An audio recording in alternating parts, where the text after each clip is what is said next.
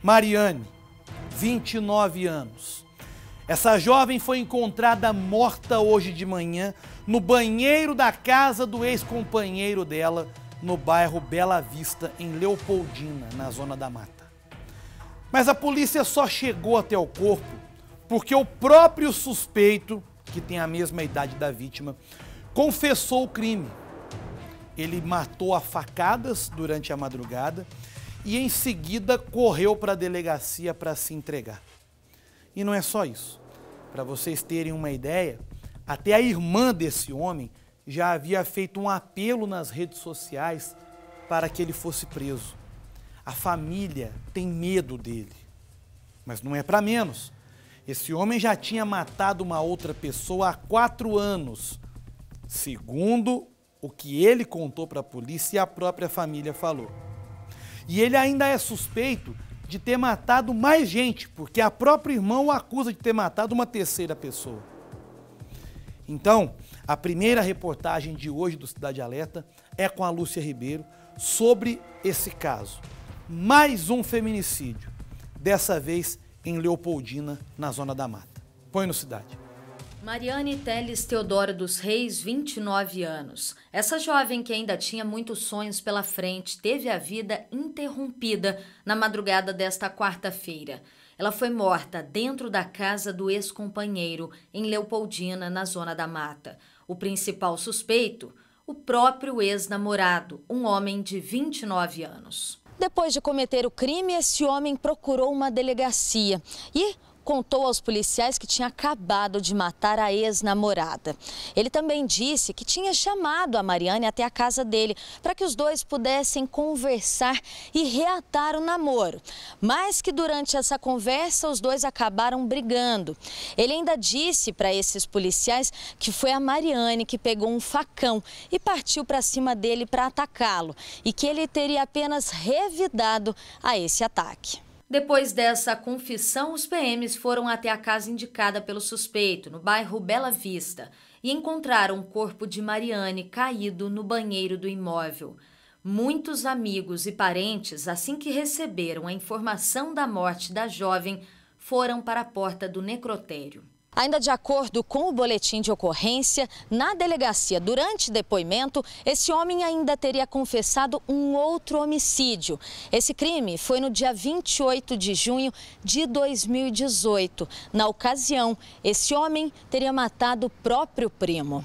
Na época desse outro homicídio, quatro anos atrás, uma irmã do suspeito usou as redes sociais para divulgar um vídeo pedindo ajuda para que o irmão fosse preso. Tô pedindo ajuda pra vocês, compartilhe esse vídeo. Meu irmão matou o Zé Carlinho, matou meu primo Kevin. Ele vai me matar, me ajudem. Nesse mesmo vídeo, Rayane também temia pela vida de Mariane. Vai matar Mariane, ex-esposa dele, me ajuda e ajudem ela. Compartilhe esse vídeo, a gente vai morrer, ele veio com arma para nos matar.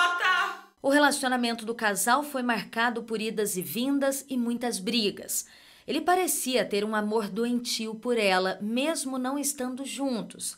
O homem usou o perfil do Facebook para demonstrar amor eterno por Mariane. Assim que ficou sabendo do assassinato da ex-cunhada, Rayane foi para a porta da delegacia. Ela falou que horas antes do crime, ela ainda teria dado um conselho para Mariane. Ah, ele sempre latia nela sempre, ela não tinha vergonha, pegava, voltava, eu sempre dava conselho para ela. Ontem mesmo eu dei conselho para ela, para ela poder não ir na casa dele, ela pegou de madrugada e foi. Ela também comentou sobre a reação das pessoas quando viram o vídeo gravado por ela em 2018. A pessoa ainda zoou, ainda disse, é uma coisa séria, entendeu? Para as pessoas estar tá zoando, entendeu? Uma coisa séria pra vocês verem o que, que ele. Ele mesmo confessou o que ele fez com esse rapaz, que é meu primo, e, e veio aqui hoje confessar o que ele fez com a, com a ex-namorada dele. Ainda de acordo com Rayane, o irmão dela já foi preso várias vezes. Foi preso com, com vendendo droga e essas coisas. Sempre foi um monstro na nossa família, entendeu? Já tentou matar meu pai, com meu filho. Rayane agora só tem um desejo: que o irmão permaneça preso. Tirar a vida de uma mulher por ela, entendeu? Não aceitar voltar, alguma coisa assim. Isso não justifica uma pessoa tirar a vida da outra.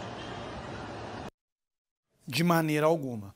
Ao que tudo indica, mais um caso daquele homem que a gente está acostumado a mostrar sempre, infelizmente, mais um caso daquele tipo de homem possessivo, egoísta, ciumento, sabe? Que não aceita, covarde, que não aceita perder, não aceita o término de relações. E ao que tudo indica, esse homem já de uma personalidade violenta há algum tempo, não entendo até o que ele estava fazendo na rua. Porque se ele já matou uma outra pessoa lá atrás, segundo a irmã, já matou inclusive duas pessoas lá atrás, por que, que esse cara até hoje não foi preso? Por que, que não, ele teve que confessar o crime agora para poder a polícia poder descobrir que aconteceu isso?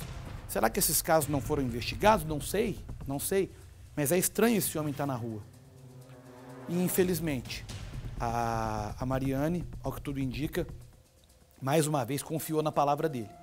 Como já tinha confiado várias outras vezes ao voltar, ao reatar o relacionamento. Agora, ela confia na palavra dele, que a chama para conversar, e ela vai e caminha até a casa dele. Na verdade, ela caminha para a morte. Assassinada com golpes de faca. Esse homem está preso.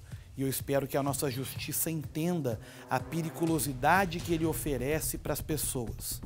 Eu espero que a nossa justiça entenda que esse homem à solta é um risco a todos, inclusive para a própria família dele.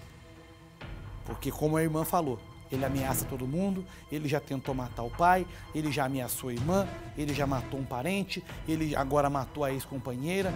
Ou seja, é um homem que não tem limites, é um homem de uma mente criminosa, que resolve tudo da maneira como bem entende, ou seja, matando. É um homem que deve ficar preso, que deve ficar preso o máximo que puder.